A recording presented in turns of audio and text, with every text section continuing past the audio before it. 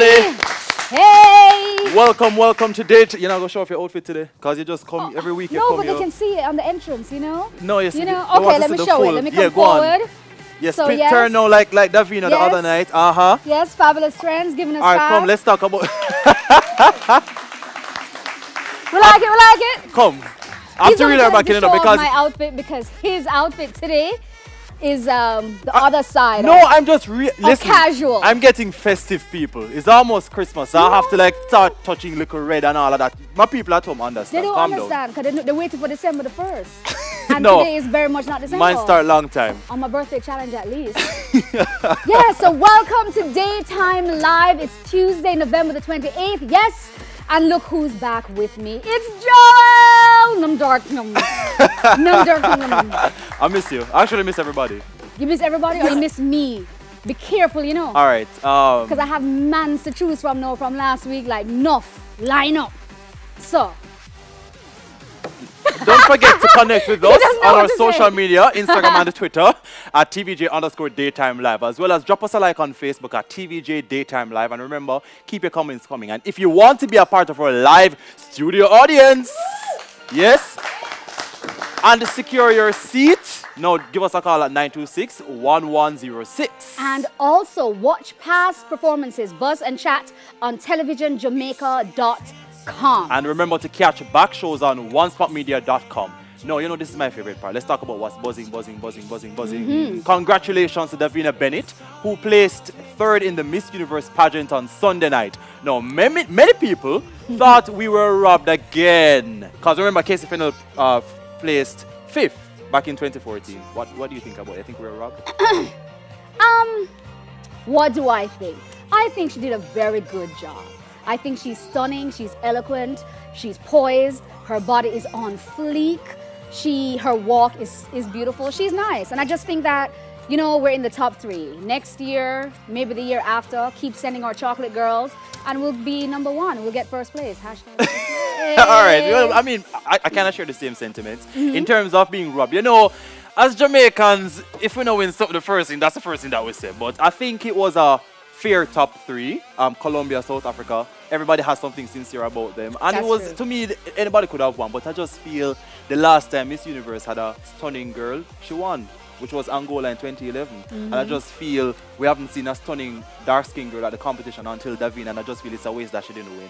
If you get what I'm saying. I hear you. You know, the last time we had that stunner, but yeah. I, I hear what you're saying. I hear what you're Congratulations, saying. though. We're going to talk a little bit more about that in daytime. Exactly, Yeah. and I'm saving all my good opinions for that awesome chat that we're about to have. Because we're doing two chat segments today, and we're talking about the chocolate fabulousness. Hashtag Black Girl Magic. Yes. Yes. So, on a little bit of a sadder note. that's a word. Sadder? just make it. More sad? Sadder? um, the slave trade that has been happening in Libya is being kept a secret and not being publicized by the country's leaders or by mainstream media. However, you have celebrities such as Naomi Campbell, Bungie Garlin, and Cardi B, and they have been using their status and social media to highlight the happenings. So, African refugees have long used Libya, Libya, mhm. for stuff like this, you know? So, um, it's been a gateway actually to Europe, but many are now facing abuse, Exploitation. um, and trafficking. exploitation, and trafficking. Um, The thing about this is that each person, based on what I'm reading, each person they're being sold for like 300, 400, 500 dollars, and this is pretty much modern day slavery. And it's sickening because you know the first time I saw it on Twitter, um, as well as on CNN. Well, I don't know if I don't know if it's, let me not even mention. I think the first time it was broken on CNN. But it was Yeah. broken, yes. And I was reading it, and I couldn't. Be, I was wondering if I'm reading something fake because you know sometimes you have to be so careful about where you get your news Yeah, from because there's no way something like this could be happening. Mm-hmm. Lo and behold, you know, you, see- you see the images, Mm-hmm. they're tied up, blood all over the place, and I'm like, what is Yeah. this taking place? Yeah, and I'm I'm really glad that it's been brought to the forefront because, as we all know, like human trafficking is very much a thing and it's very much a problem. Mm-hmm. And a lot of persons, when they're sold from human trafficking, they're sold into slavery. Mm-hmm. So that's something, an aspect of it that we don't necessarily talk about. But um, The the, main- fact that yeah. this is coming to the fore is, is awesome. And by the way, it's three, four, five hundred US dollars. It's not Jamaican for those of you who are thinking. Nobody, nobody's worth being sold for any money right now, and uh, you know it doesn't even matter the currency. The, and also, the, a part of the problem is why is it? It has taken so long. It was brewing, and you saw it, and people are like, "Oh, probably it's fake news." Again, because you don't expect something like that to happen, but Yes. over time. I don't know if the push is still there in terms of it being at the forefront in mainstream media, and that's still a, a, a, a cover concern. When Yeah. anything else happen, um, Paris bombing or whatever, these things are immediately brought to, the forefront, and people start, you know, Yeah. Facebook have weight name, change your, your profile picture and update Yeah, and stuff like yeah. that. And anything, anytime anything happen in Africa that has to do with black people, it- there's a get the same delay, there's a delay, there's a delay. Global support. Exactly. That's and I just, up to now, sitting here, I cannot believe that something like this is actually happening. Well, the thing about it is, um, there are reports like they have to be um, tried and tested to ensure. But I've heard reports that it's actually an interim government called the GN that's actually um, responsible for this. So that you're talking about the government in Libya. So Which- they're which very the much aware and they're black of people. what's happening. You know, and apparently there are eight, seven or eight sites, different places in Libya that this is happening. So it's not like a, like a one-off area over there. It's like a far-reaching, far-spread um, event. So that's very upsetting. Yeah, let's so, we can kind of move on from this. Like, I don't, I don't, I, I, I just feel really bad about that story, and I Mm-hmm. just hope there's some sort of immediate attention and resolve that will that. and will we all need to talk about it a little bit more. I think we all need to push it a little bit more on, on social media because We'll apparently nothing happens unless it's being pushed on social media. You understand what I'm saying? And I'm, I'm happy to see the celebrities getting involved with this Yeah, because this is a, an atrocity, everybody. It this is. is just like, excuse me, slavery still, black people, I have a problem. So I think everybody needs to be pushing this a lot harder. Like everybody that has, you know, Mm-hmm. The Instagram channel and- or and- the Twitter influence needs to well, be yeah. saying whatever. Plus the persons, like you said, um, that has that kind, that level of power needs to be mhm. speaking out against this. yeah. Moving on, because you know I'm getting a little. no, Prince Harry, Mm-hmm. the 15th in line to the British throne, announced yesterday his engagement to Meghan Markle. Therefore, there will be another royal wedding next spring. Now, what makes this cool is that there will be a black person in the Buckingham Palace, as Meghan is biracial to a black mother from Compton. Mm-hmm. Now, this is interesting because um, the ring was also designed by Prince Harry, and a few of the stones were taken from his mother's personal collection. You realize that these boys don't leave, I mean, these princes don't leave their mother out of anything at all. Yes, we love um, Diana. Yeah. I was a fan. I was a fan of Princess Diana at the time. you know. What, so th- what do you think about this though? Because I know Harry been been around for a while.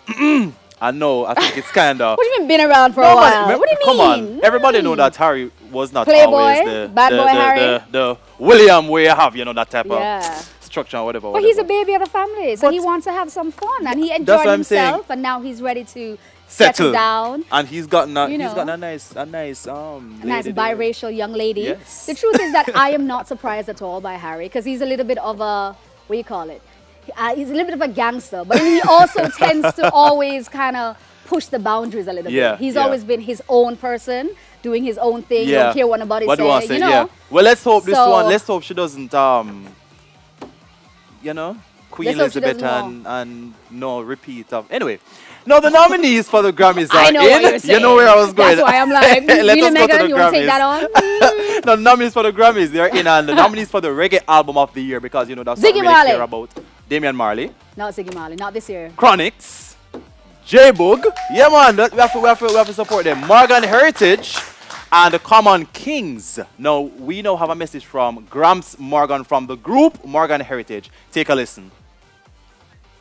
I'll give us one second. Can you if we have to hear? But the reason why I mentioned Ziggy Marley earlier is because every year, without fail, whether he releases an album or he doesn't release an album, he's always up there, you know? So that's why I was Yeah. like, Ziggy, but he's not there this year.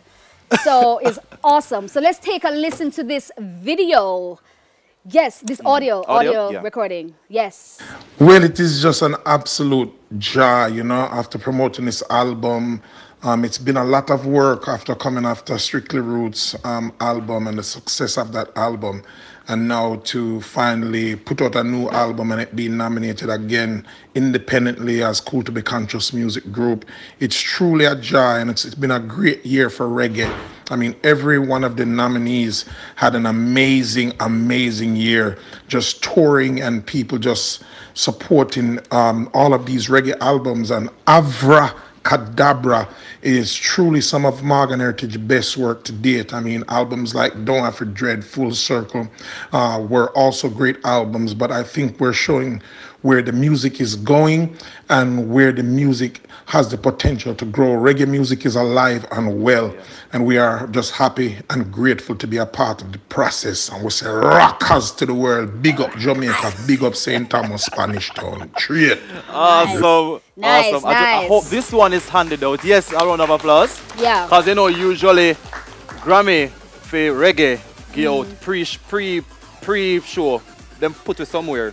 i.e. it's not main aired stage now, yes. what they're singing or performing or what's It happening need, in the yeah, it has to go there. I hope. I don't know if it will be done this year, but that is the direction that we need to go because to everybody this teaches something from a genre, and it's just Right. Mm-hmm. appropriate that it is there. Now, congratulations to everybody.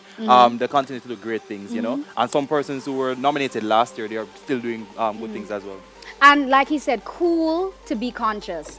Cool to be conscious. I love that. I'm going to Yes. hashtag that and start a movement. So That was Yes. Gramps. Yeah, Gramps Morgan. So thank you for that. Big up, shout out. Like Joel said, congratulations to everybody. Hmm? Yes. And while we're talking about a shout out, daytime shout out, Joel. Who you want shout out? Oh to? gosh, you know, I have first of all, I don't remember We only any name at all because I've been. I've been away for like two weeks. But I have a daytime shout out. I'll, I'll go take out a fridge where they sit downtown. Gotcha. and I met an entire family. Mm-hmm. I don't remember the names though, but they said they will be watching in two weeks. I tell them to watch two weeks again. So if you're watching in two weeks, which is no, daytime shout out to you.